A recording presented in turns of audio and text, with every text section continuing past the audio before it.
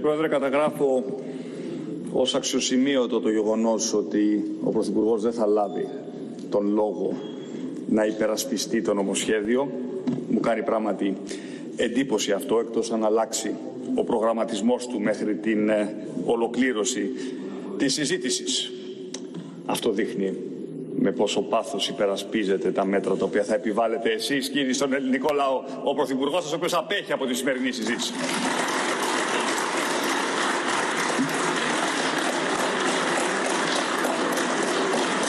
Κυρίε και κύριοι συνάδελφοι, η κυβέρνηση ΣΥΡΙΖΑ ΝΕΛ τελειώνει τη θητεία της ακριβώς όπως την ξεκίνησε. Με ψέματα.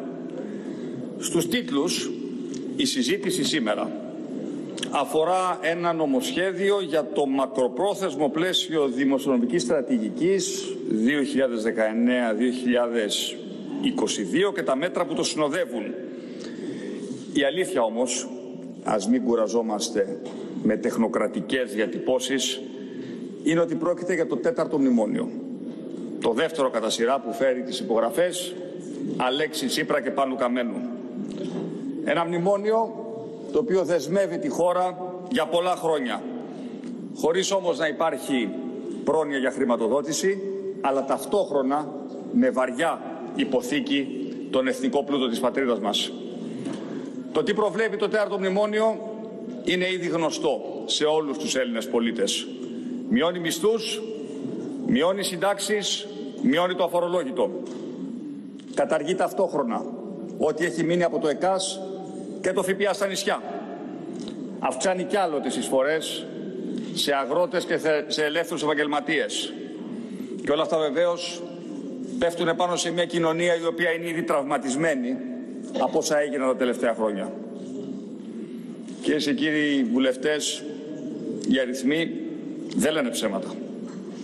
Η Κύπρος τα τελευταία τρία χρόνια αναπτύχθηκε αθρηστικά κατά 9,3% και η Ελλάδα μόλις κατά 0,9%. Το χειρότερο όμως είναι ότι η κυβέρνηση υστερεί ακόμα και απέναντι στον ίδιο στον εαυτό. Κύριε Υπουργέ, κάθε πέρυσι και καλύτερα. Αν συγκρίνετε το φετινό με το περσινό μεσοπρόθεσμο, θα διαπιστώσετε ότι το ΑΕΠ το 2021 είναι κατά 6,6 δισεκατομμύρια ευρώ μικρότερο από αυτό που εσείς οι ίδιοι, εσείς οι ίδιοι προβλέπατε πέρυσι. Ενώ για όλη την περίοδο 17 21 θα είναι αθρηστικά κατά 26,3 δισεκατομμύρια μικρότερο. Δεν πιστεύετε ούτε εσείς οι ίδιοι στις προβλέψεις σας. Και γι' αυτό και αναγκάζεστε να τις αναθεωρείτε συνέχεια προς τα κάτω. Καταθέτω τον σχετικό πίνακα στα πρακτικά. Παρακαλώ να τον δώσετε στον Υπουργό Οικονομικών. Όλα αυτά, όλα αυτά ενώ η κοινωνία έχει ήδη πληρώσει πολύ ακριβά αυτή την κυβέρνηση.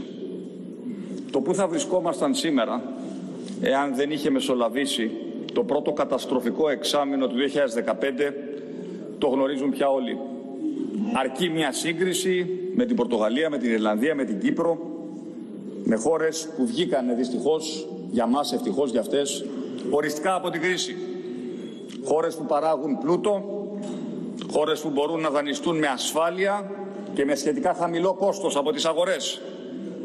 Την ίδια ώρα που η Ελλάδα σέρνεται και που η απόσταση που τη χωρίζει από τις υπόλοιπες ευρωπαϊκές χώρες μεγαλώνει.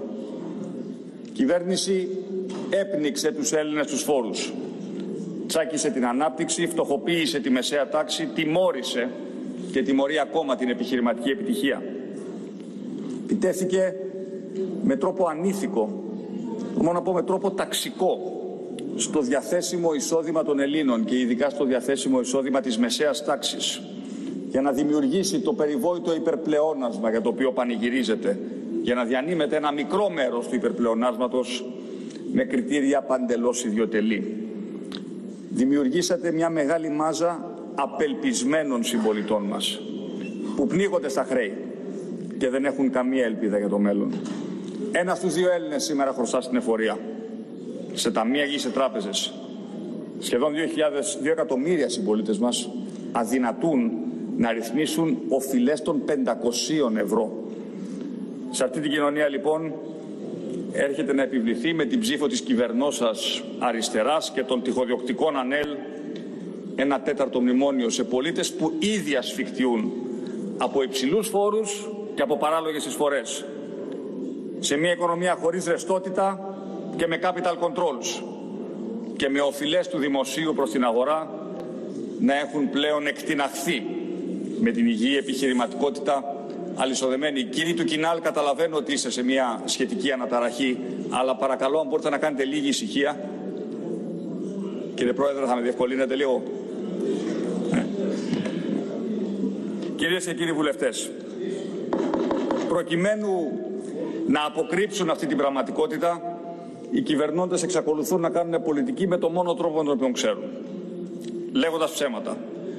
Ακούμε λοιπόν ότι έρχεται το δήθεν τέλος των μνημονίων, χάρη σε μια καθαρή έξοδο που θα βγάλει τη χώρα σε ένα περιβάλλον, πώς μας το είπατε, μετάλλητότητος. Εγώ είμαι εδώ, όπως είναι και όλοι οι βουλευτές της Νέας Δημοκρατίας και όσοι έλαβαν τον λόγο και ο εισηγητής μας και ο κοινωνιστικός μας εκπρόσωπος, για να σας πούμε την αλήθεια. Την αλήθεια που εσείς προσπαθείτε να κρύψετε, αλλά βρίσκεται στο επίσημο κείμενο του τέταρτου μνημονίου. Για να δούμε λοιπόν σύντομα ποιοι είναι οι μεγάλοι χαμένοι, κύριε Υπουργέ, του τέταρτου μνημονίου; Έχουμε λοιπόν και λέμε, συνταξιούχοι. Σε λίγους μήνες κάθε συνταξιούχος θα χάσει έως και δύο συντάξεις. Και σε σαφώς χειρότερη θέση θα έρθουν 500.000 συνταξιούχοι του δημοσίου που θα χτυπηθούν τριπλά από το συνδυασμό της κατάργησης της προσωπικής διαφοράς, της κατάργησης του ΕΚΑΣ και της μείωσης του αφορολόγητου. Δεύτερον, χαμηλόμισθη. Το αφορολόγητο, θα επανέλθω σε αυτό κύριε Υπουργέ μετά, για αγρότες μισθωτούς και συνταξιούχους που ήταν το 2014 9.545 ευρώ. Τώρα μειώνεται στα 5.680 ευρώ. Αυτό σημαίνει με απλά λόγια ότι για πρώτη φορά επί δικών σας ημερών θα πληρώσουν φόρο συμπολίτες μας που καλούνται να τα βγάλουν πέρα με 500 ευρώ το μήνα.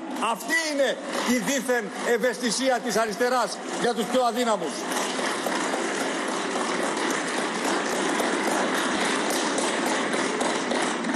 Τρίτον, ελεύθεροι επαγγελματίες. Καταργείται οριζοντίες η έκπτωση 15% επί του εισοδήματος. Με συνέπεια να μειώνεται κι άλλο το διαθέσιμο εισόδημα δικηγόρων, γιατρών, μηχανικών, αγροτών. Τέταρτη μεγάλη χαμένη, ιδιοκτήτες ακινήτων σε φτωχότερες συνοικίες. Εσείς που θα καταργούσατε τον ένφια, τον αυξάνετε ακόμα και στις φτωχότερες γειτονιές. Ένα εκατομμύριο νοικοκυριά θα πληρώσουν περισσότερα.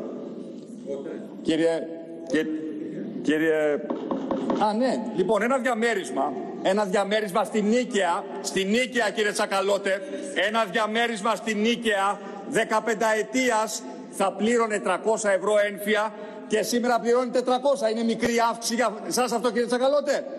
Είναι μικρή αύξηση και τα ίδια, τα ίδια περιστατικά έχουμε σε μια σειρά από υποβαθμισμένες περιοχές. Αλλά προφανώς αδιαφορείτε Μιλάτε, Παρακαλώ, μιλάτε εσείς που λέγατε ότι θα καταργήσετε τον ένφια. Έχετε το θράσος να διακόπτετε κιόλας. Δεν τρέπεστε λίγο; Δεν τρέπεστε λίγο; Εσείς που λέγατε ότι θα καταργήσετε τον ένφια. Μην ξαναδιακόψετε. Έχετε τη φωλιά σας πολύ ρεωμένη. Παρακαλώ. Μην διακόπτετε παρακαλώ. Μην διακόπτετε. Λοιπόν, και γίνεται και χειρότερο. Η δημόσια περιουσία μπαίνει ενέχειρο για 25 δισεκατομμύρια ευρώ μέσω του υπερταμείου το οποίο να θυμίσουμε συγκροτήθηκε και πάλι με υπογραφή Τσίπρα Καμένου. Η προπαγάνδα σας λέει πως το άρθρο 109 είναι απλή επαναδιατύπωση μιας προηγούμενης ρύθμισης. Όμως η Σύνοδος Κορυφής για το Ευρώ του Ιουλίου του 2015 όσο και ο 4336 συνδέουν ξεκάθαρα τη δέσμευση αυτή με την ανακεφαλοποίηση των τραπεζών. Τώρα μιλάμε για μια νέα ταπεινωτική υποθήκη που φέρει τη δικιά σας υπογραφή. Και οι άνθρωποι που το 2014 αποκαλούσαν αιματοβαμμένα, αιματοβαμμένα τα πλεονάσματα 3% ως 4,5% για τρία χρόνια τώρα αλυσοδένουν τη χώρα με πλεονάσματα από 3,5% έως 5,2% για πέντε χρόνια. Θέλω να θυμίσω τι έλεγε ο κύριος Τσίπρας ακριβώς πριν από δύο χρόνια για το ζήτημα των υπερπλεονασμάτων στο συνέδριο του Economist που θα πάει να μιλήσει πάλι και αύριο. Του θυμίζω λοιπόν ότι έλεγε πριν από δύο χρόνια ότι είναι απολύτως αδύνατον κύριε Τσακαλώτε τα ακούτε; Πρωτογενή πλεονάσματα του ύψους του 3,5% μετά το 2018 να διατηρηθούν και μάλιστα για αρκετά χρόνια. Εκτός, προσθέτει ο Πρωθυπουργός, αν θέλουμε να πνίξουμε την ελληνική οικονομία και να έχουμε διαρκώς συνθήκες μακροχρόνια στασιμότητας.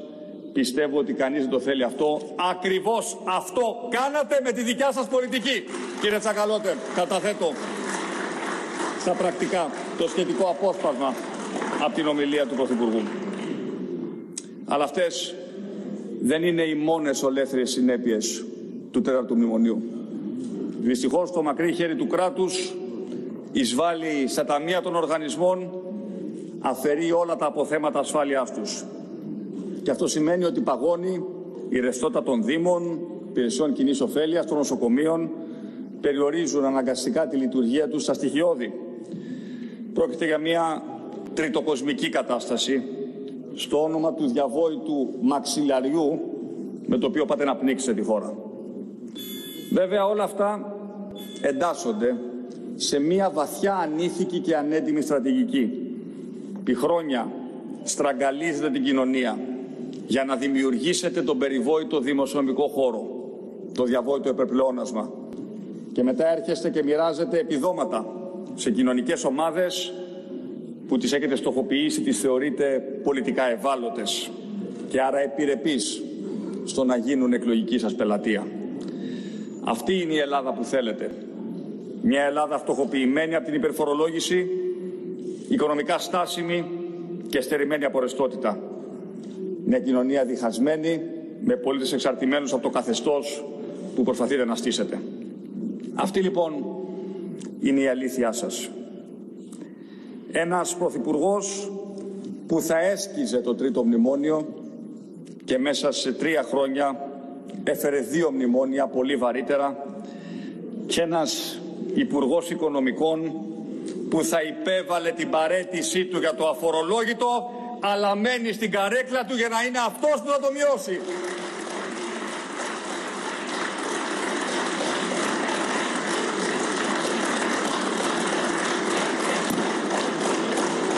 Σκρίπτα μάνε, κύριε Τσακαλώτε, 12 Απριλίου του 2016. Μας είπαν ότι πρέπει να μειώσουμε πιο πολύ το αφορολόγητο. Εμείς κάναμε μια πολύ μικρή μείωση του αφορολόγητου. Όπως σας είπα, για κάποιον από 15.000 ευρώ τον επηρεάζει κατά 60 ευρώ το χρόνο και δεν κάνουμε άλλη μείωση του αφορολόγητου. Δεν είμαι εγώ διατεθειμένος να καταθέσω στη Βουλή των Ελλήνων ένα νομοσχέδιο που έχει αφορολόγητο μικρότερο από αυτό που θα υπάρξει στο νομοσχέδιο που θα δείτε. Άρα υπάρχουν κόκκινες γραμμές. Εσείς τα λέγατε αυτά, κύριε Τσακαλώτε. Και έχετε το θράσος να κάθεστε ακόμα στην καρέκλα σας. Ντροπή σας. Κρατήστε παρακαλώ και δώστε στον κύριο Τσακαλώτο να του θυμίσουμε τι έλεγε πριν από δύο χρόνια.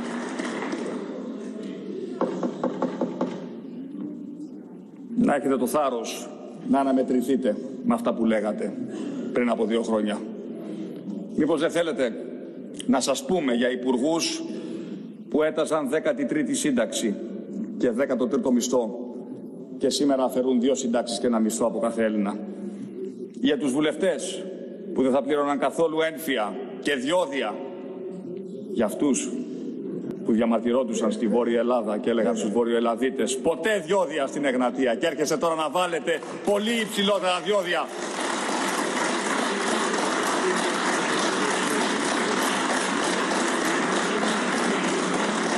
βλέπω λοιπόν όλους σας εδώ έτοιμοι, έτοιμοι να τα ψηφίσετε όλα, να κρατήσετε την εξουσία. Μήπως καθυστερήσετε για λίγο ακόμα το αναπόφευκτο τέλος σας. Κυρίες και κύριοι βουλευτές, δεν είμαι εδώ μόνο για τα αποκαλυπτήρια του τέταρτου μνημονίου. Η κοινωνία άλλωστε ξέρει και γι' αυτό κάνετε ό,τι μπορείτε για να αποφύγετε τις εκλογές, όμως τελικά δεν θα τις αποφύγετε. Είμαι εδώ και για να δείξω ότι υπάρχει κι άλλος δρόμος και ότι η Ελλάδα μπορεί και αξίζει καλύτερα. Το ΑΕΠ μπορεί να αυξηθεί, όχι μόνο όμως ως οικονομικό μέγεθος. Γιατί το α στο ΑΕΠ είναι η ανάπτυξη, είναι η αξιοπρέπεια, είναι η αξιοπιστία. Το ε είναι η ενότητα του λαού μας και το π είναι ο πατριωτισμός. Ένας νέος πατριωτισμός που αφορά τελικά όλες τις πτυχές της δημόσιας ζωής μας. Την καθημερινή ασφάλεια στις γειτονιές, τη λειτουργία των θεσμών και του κράτους δικαίου, την ευθύνη που έχει ο καθένας μας, όχι μόνο απέναντι στον εαυτό του και στην οικογένειά του, αλλά απέναντι στην κοινωνία. Και αυτή είναι η επιτομή του νέου πατριωτισμού, όπως εγώ τον αντιλαμβάνομαι. Αλλά ο πατριωτισμός αφορά πρωτίστως τα εθνικά θέματα. Την αδιαπραγμάτευτη υπεράσπιση των συμφερόντων της χώρας. Κυρίε και κύριοι εδώ και τρία χρόνια η Νέα Δημοκρατία ασκεί αντιπολίτευση με ευθύνη απέναντι στους θεσμούς και με απόλυτη συνέστηση ότι αυτό το οποίο προέχει είναι το συμφέρον της πατρίδας μας. Το αποδείξαμε σε δύσκολες στιγμές, χωρίς να μετρήσουμε το πολιτικό κόστος. Όταν το 2015 παίζατε την Ελλάδα στα ζάρια, εμείς βάλαμε πλάτη και σώσαμε την πατρίδα μας.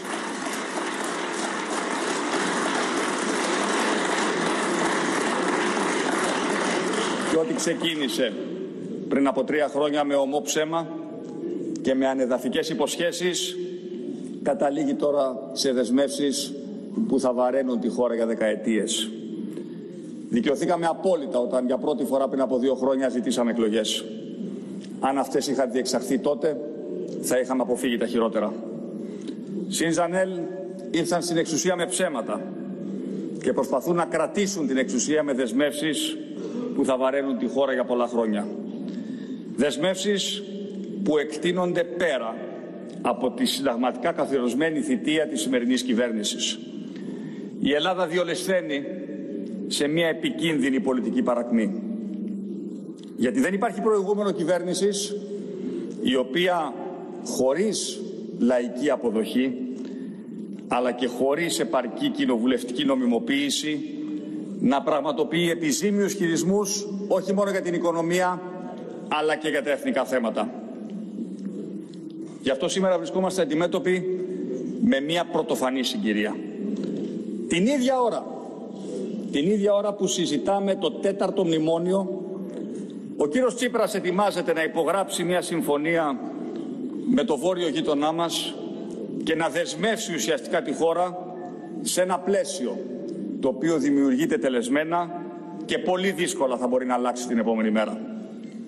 Έχω κάθε λόγο να πιστεύω ότι αυτός ο συγχρονισμός κρίσιμων θεμάτων εξωτερικής και οικονομικής πολιτικής δεν είναι τυχαίος.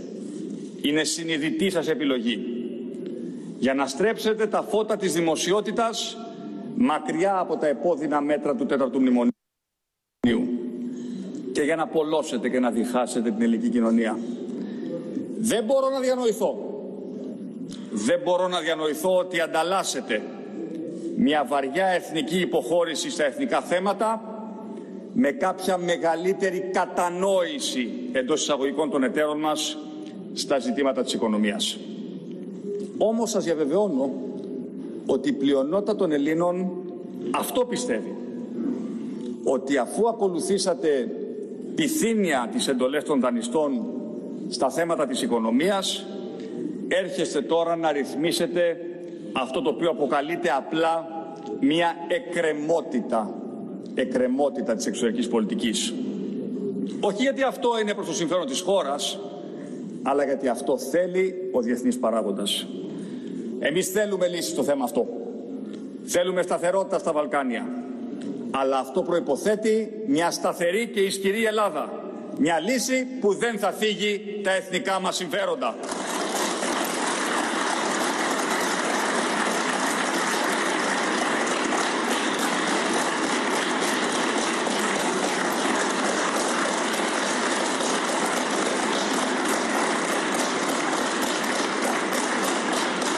Ξέρετε,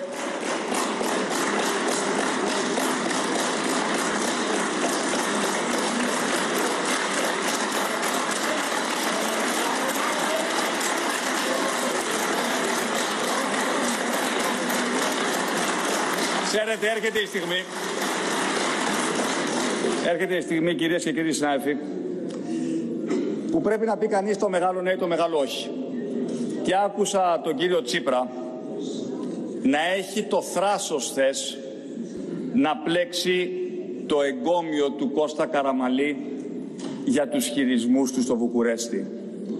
Να, να σας θυμίσω λοιπόν ότι εκεί που ο Καραμαλής είπε όχι, εσείς σήμερα λέτε ναι.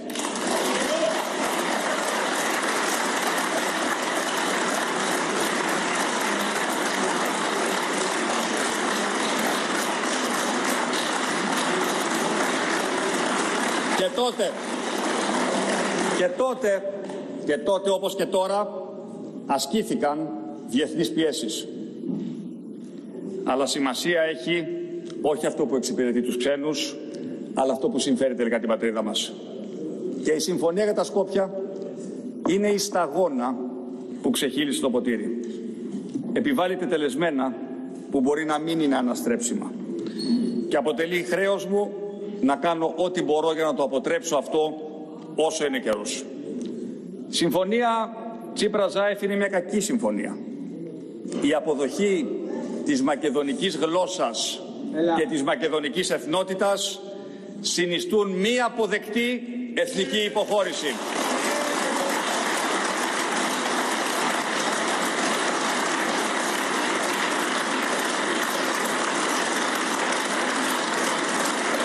Αλλά, αλλά, ακόμα και για αυτό το θέμα είπατε ψέματα. Διαβάζω από το διάγγελμα του Πρωθυπουργού πριν από μόλις δύο μέρες συμφώνησαν να μετονομάσουν τη χώρα τους σε δημοκρατία της Σεβέρνα Μακεδόνια δηλαδή στη γλώσσα μας σε δημοκρατία της Βόρειας Μακεδονίας. Πού υπάρχει το Σεβέρνα Μακεδόνια στη συμφωνία που καταθέσατε στη Βουλή; Ψεύδεστε και σήμερα ακόμα. Καταθέτω στα πρακτικά. Για πρώτη φορά, για πρώτη φορά η Ελλάδα αναγνωρίζει μακεδονική εθνότητα και γλώσσα στους βόρειους γειτονές μας. Στοιχείο που αποτελούν τη ρίζα του αλυτρωτισμού. Αυτό σας το λένε όλοι. Ακόμα και ο κύριος Κουτσούμπας, θα τον πείτε και αυτόν, ακροδεξιό. Από τη στιγμή που αποδέχεστε την ύπαρξη μακεδονικής εθνότητας και γλώσσας, δεν έχει ουσιαστικό περιεχόμενο ο γεωγραφικός προσδιορισμός του ονόματος. Αυτοί που αποτελούν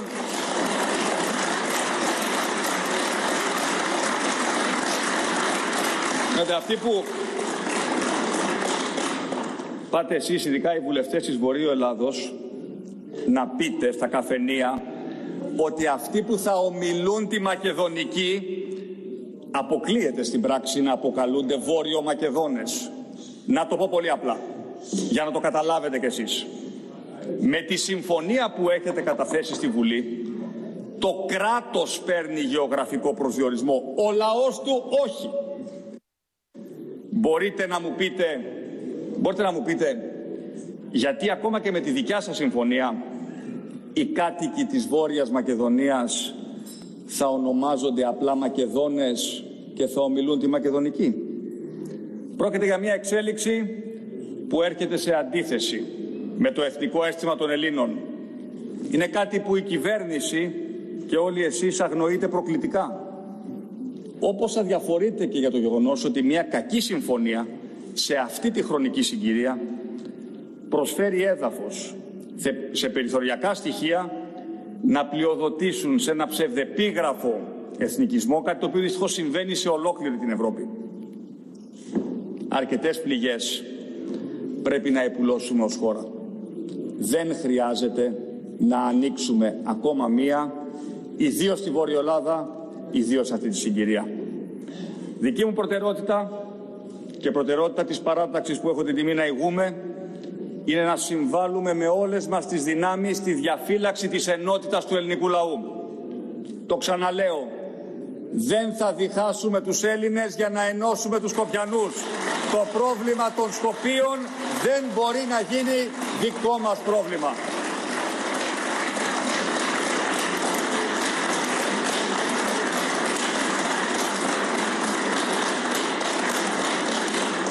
Την ίδια ώρα, λαϊκές αντιδράσεις πολλαπλασιάζονται. Και την ίδια ώρα, προσέξτε, καταγράφεται μια δεδηλωμένη διάσταση μέσα στην ίδια την κυβέρνηση αφού ο κυβερνητικός εταίρος διαφωνεί με τη συμφωνία και μάλιστα με τρόπο ανοιχτό και προκλητικό. Έτσι ο κύριος Τσίπρας ετοιμάζεται την Κυριακή στις Πρέσπες να υπογράψει μια συμφωνία η οποία δεσμεύει τη χώρα χωρίς να έχει καν διαπιστωθεί αν στο θέμα αυτό υπάρχει η απαραίτητη κοινοβουλευτική πλειοψηφία. Χωρίς να διαθέτει καν την ομόθυμη στήριξη του Υπουργικού του Συμβουλίου, το οποίο δεν συνεδρίασε καν για το θέμα αυτό. Πού τη συζητήσατε τη συμφωνία, στην αίθουσα του Υπουργικού Συμβουλίου ή στην Κουμουδούρου με τους συντρόφους σας που ήθελαν το Μακεδονία σκέτο.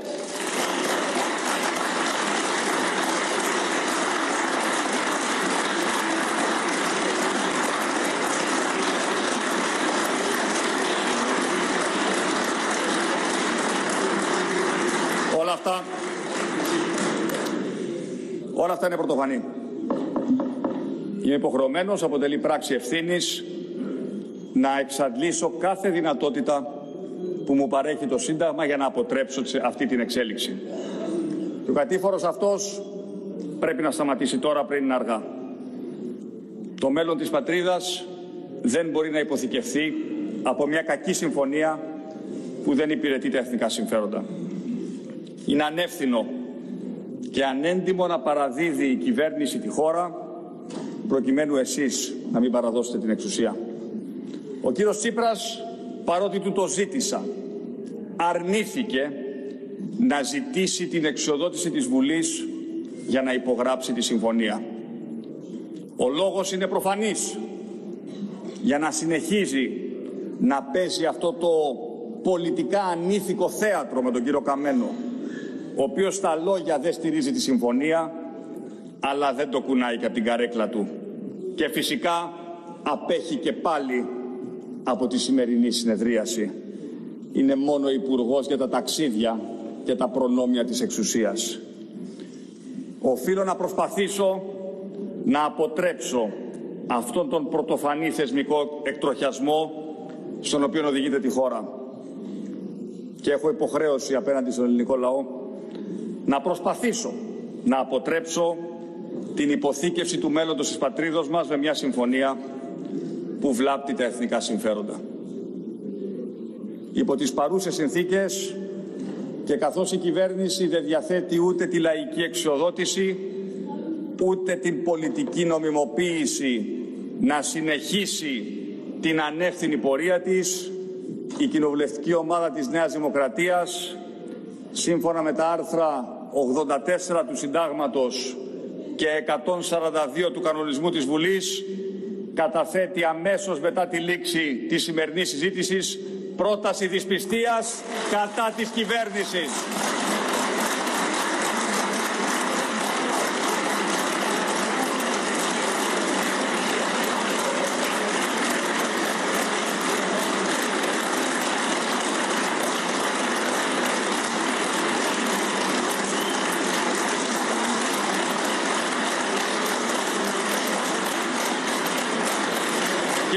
Προκαλώ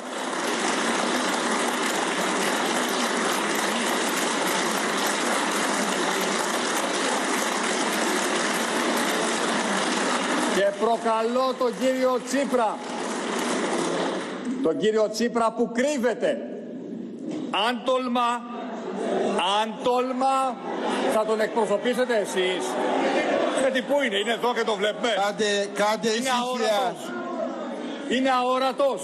Ησυχία παρακαλώ για να ολοκληρώσει ο πρόεδρος. Κύριε Θεωνά, ε, Και ε, να, και να πω και να πω ότι ήταν έκπληξη. Σας το είχαμε προαναγγείλει.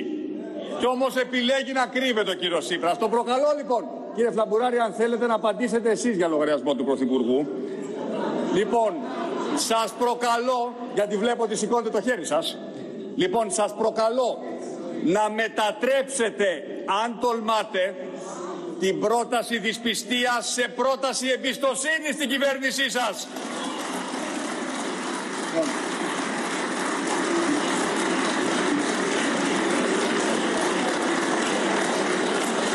Όπως, όπως έκαναν όπως έκαναν όλοι οι προκατοχοί σας για να επιβεβαιώσουν τη θετική ψήφο της Βουλής προς την κυβέρνησή τους και για να δούμε επιτέλους αν υπάρχουν 154 βουλευτές που είναι πρόθυμοι να πούνε ναι στην υπογραφή που ετοιμάζεστε να βάλετε την Κυριακή στις πρέσπες. Σας προκαλώ λοιπόν κύριε Τσίπρα, γιατί σήμερα αναμετριόμαστε όλοι με την ιστορία. Σας ευχαριστώ πολύ.